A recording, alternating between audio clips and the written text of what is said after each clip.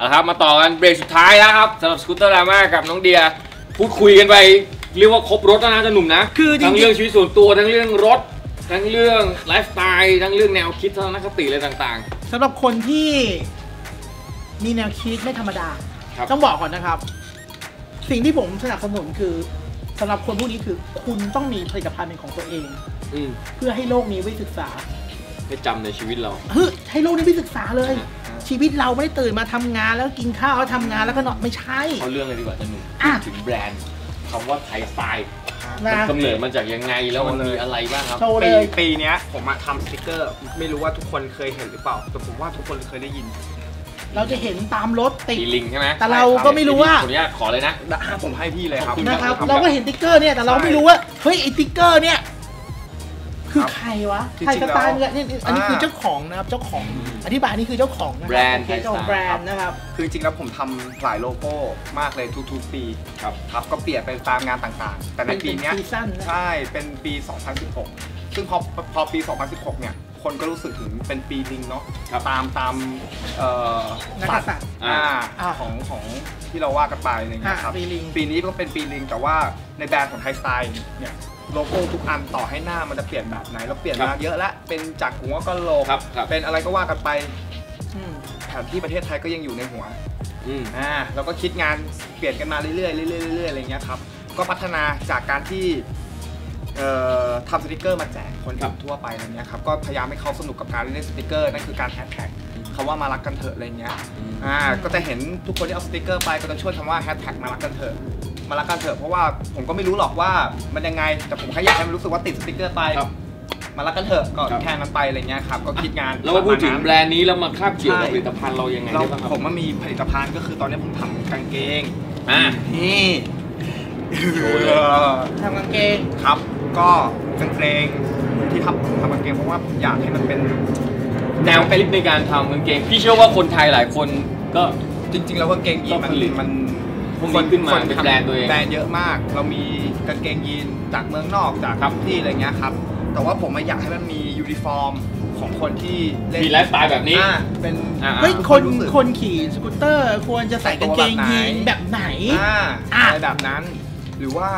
บางคนซื้อรถมาครับ อยากเฮ้ยแต่งตัวให้มันเข้ากับรถอืมมันไปได้ทุกที่อะไรเงี้ยครับครับ คนก็รู้สึกว่าเราต้องไปซื้อของแบรนด์ที่มันแพงหรือเปล่าครับของ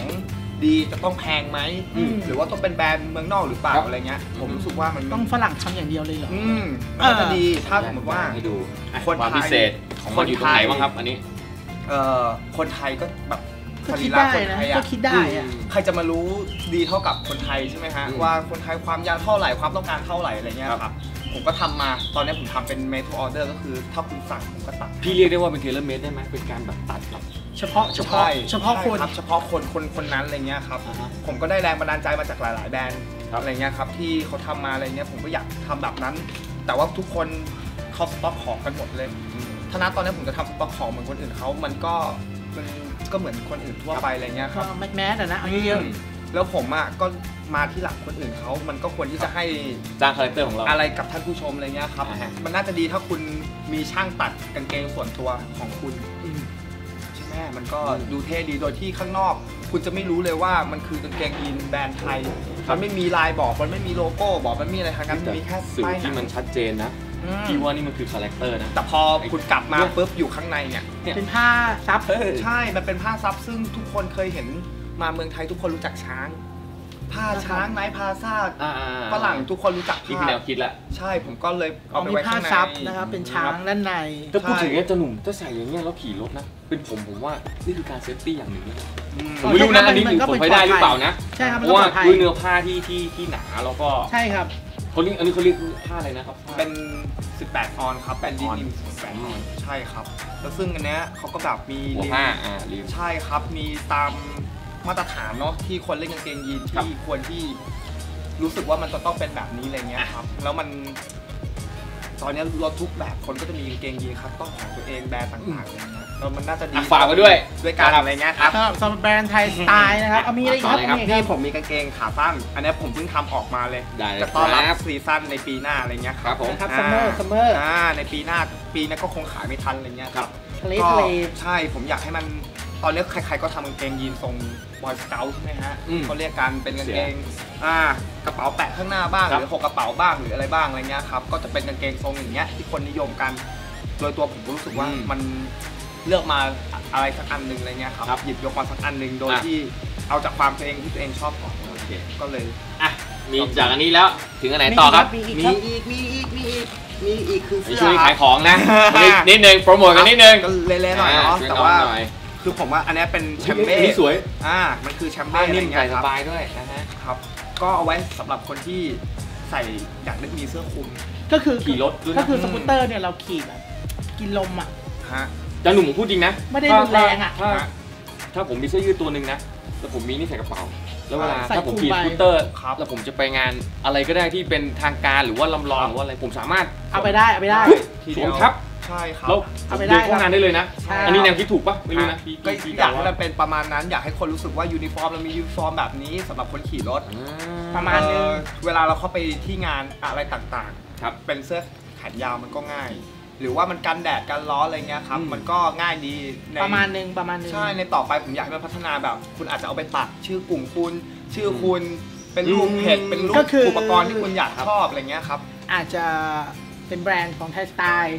จะเพิ่มโลโก้สัญลักษณ์อะไรของก็ได้ของเราสร้าใช่งเอเพกราะลักว่าษณ์ทางนี้ขเขาองเรานี่เขายินดีทำให้จนะครับริงๆแล้วตัวผมอยากให้มันเป็นกันเป็นเหมือนแบบของเบสิกที่ทุกคนสามารถเอาไปต่อยอดไปทำครับของตัวเองเข้าใจได้ครับอะไรเงี้ยครับสนุกสนุกอะไรอย่างเงี้ยอ่ามมากกว่าสนุกกับการแต่งตัวอุ้ยเรียกได้ว่ามีสนุกกับกรขี่รถเกือบครบเหมือนกันนะใช่ครับเสื้อเสื้อใช่กางเกงกางเกงนะครับครับแล้วก็มีเสื้อยืดเสื้อยืดเสื้อยืดเสื้อยืดเสื้อเสื้ยือดยืดเสื้อยืดฝั่งนี้นึงครับฝั่งนี้นึงครับเสื้อยืดจริงๆ แล้วเสื้อยืดอะมันหมดแล้วล่ะครับ แต่ว่าเอามาในสำหรับในปีนี้มันเป็นลาย ของของคำว่ามารักกันเถอะอ่าใช่ครับมันก็เป็นตามโลโก้คือตอนเนี้ยผมไม่ได้ให้เอ่อคนที่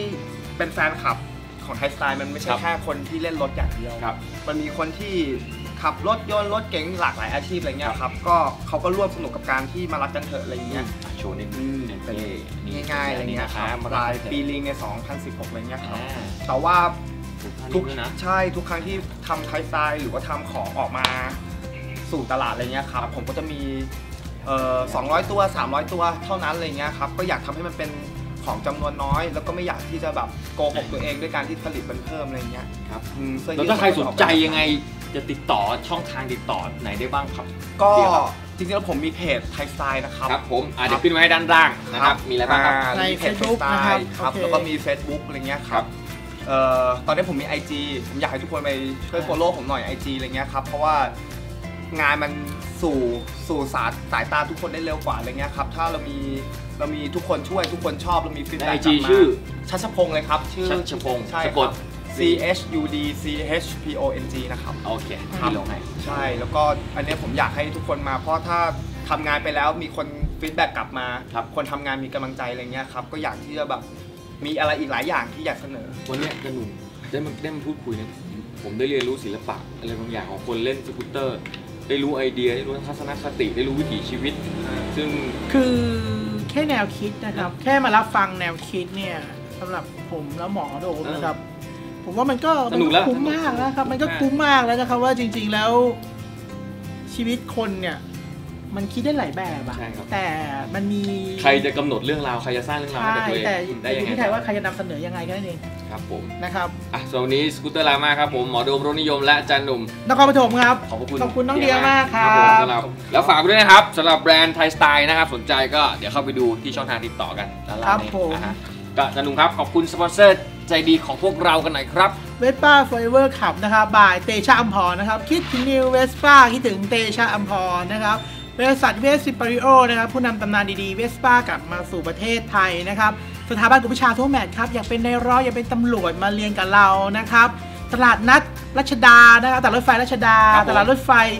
เกษตรนวมินทร์และศรีนครินทร์อย่าตลืลาดรมถไฟศรีนครินทร์นะครับ โดยพี่โรดแอนชีคครับผม ศูนย์รวมแฟชั่น ศูนย์รวมความชิคความบันเทิงอะไรต่างๆ ไปเจอกันได้ที่ตลาดนัดรถไฟครับผม ครับอะสำหรับใครที่ต้องการติดตามรับชมพวกเรานะครับความความเคลื่อนไหวก็เข้าไปได้ที่ Facebook Fanpage Fanpage ของเรานะคนะครับไปกดไลค์ดูความเคลื่อนไหวกันได้ สกูตเตเตออร์ร์รารามามาครับ ก็ใครที่ต้องการรับชมย้อนหลังนะครับ ก็สามารถเข้าไปได้ที่อ่า YouTube Channel ของเรานะครับพิมพ์ว่ารายการภาษาไทยแล้วก็ตามด้วยสกูตเตอร์รามา Scooter Drama มีให้รับชมกันทุกคลิปทุกตอน สาระความรู้ความบันเทิง ครบถ้วน เช่นเคยหลายร้อยคลิปมากครับครับผมก็อีกช่องทางหนึ่งสมาคมคนบ้า บ้านสกูตเตอร์สมาคมคนบ้าสกูตเตอร์นะครับครับปผม เดตนะครับทุกอย่างเกี่ยวกับสกูตเตอร์นะครับทุกลมหายใจจริงๆนะครับ โอเค วันนี้น้องเดีย ยินดีมากนะครับผมครับอีกครั้งครับครับจับมือดีพี่ได้เจอมนุษย์พันธุ์เดียวกันแล้วได้ครับนะฮะยินดีมากขอบคุณครับโอเคขอบคุณครับสวัสดีครับสกูตเตอร์ลาม่าลงภาพยนตร์แห่งสกูตเตอร์คลาสสิกต้องลาไปก่อนครับพบกันใหม่สัปดาห์หน้าครับ สวัสดีครับ สวัสดีครับ